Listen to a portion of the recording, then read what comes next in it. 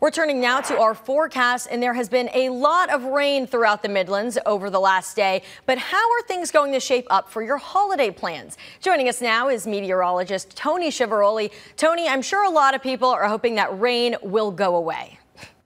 Yeah, I would say so, Jordan. A lot of travels to be had, and honestly, a good amount of folks out on the roads already as we're going through just some day to day, early morning Wednesday traffic. It is damp out there. Live check on I 26. We are seeing those wet roadways. Please be careful. Still under the cover of darkness right now. As we are going forward, we're seeing this temperature situation really level out today. A lot of you are holding steady currently in the mid and lower 60s for our north and western viewing area. Some 50s have settled in. But overall, we should all just see pretty much high temps in the mid 60s today. So in short, you're going to see a slight rise out towards the west, but if you're towards the south and east, like Orangeburg, Manning, a lot of spots will actually see some temperatures slightly fall into the day, just the way things are, you know, oddly working out with this front. But with the timing, another live check, first alert satellite and radar. We are damp to kickstart today. Take a look towards the upstate, even towards our counties out towards the west. Newberry, Saluda, looking pretty good now in terms of drying out, but we're still lagging on with this downpour potential. It's very spotty, but it is still in play across Richland County,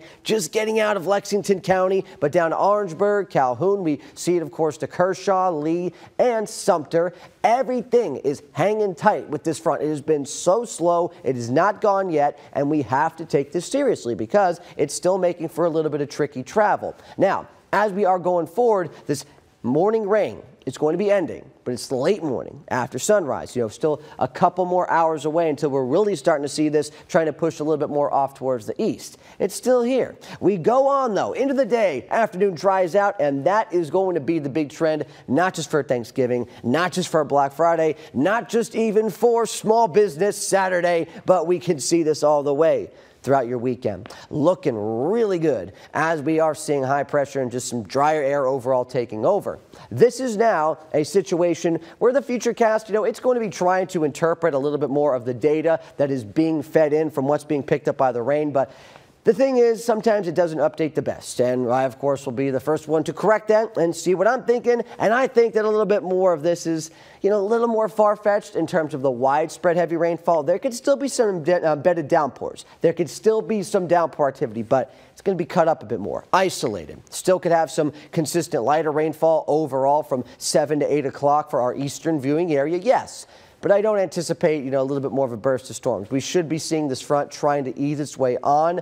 Please be mindful, though. Continue to stay weather aware because you don't want to get caught out in a downpour. And if you're driving in that, you just need to have a little bit more of the awareness around you until we see this. We get into Wednesday afternoon and we can say hello, sunshine, as it tries to desperately fight through cloud cover. And that's going to be what we see. It'll be a battle throughout the day. A couple little stray showers can try to sneak in on the tail edge of this front. But as we get this northwest wind to take over, dry air to take over, look at this right dear Thanksgiving, we are drying out. We're looking lovely. How about this end of the day? We continue to see mainly sunny skies, eventually giving way to a few clouds late into tomorrow, but that's it. It's an easy Thanksgiving. Highs near 61. Some clouds roll in overnight, and we could see that with a little stray shower into the morning of Black Friday. So for the early risers, shopping, getting out there early, you know, you can see that. But otherwise, barely anything. It is not going to be a day you need an umbrella. You can still have the jacket on throughout the day, maybe a festive sweater.